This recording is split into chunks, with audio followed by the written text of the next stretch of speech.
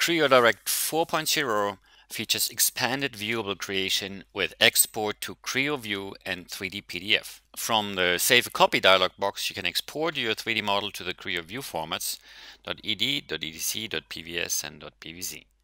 When you select to save to one of these formats, the Options button is available.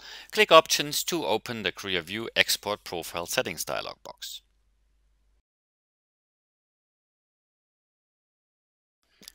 The exported model can then be visualized in Creo View or Creo View Express.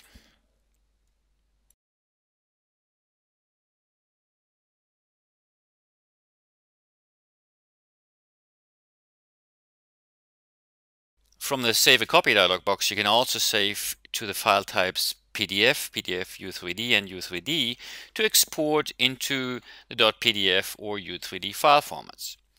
When you select one of these formats and click OK, an Export Settings dialog box opens related to the format you selected. In this dialog box, you can specify a wide range of settings for the export operation to PDF.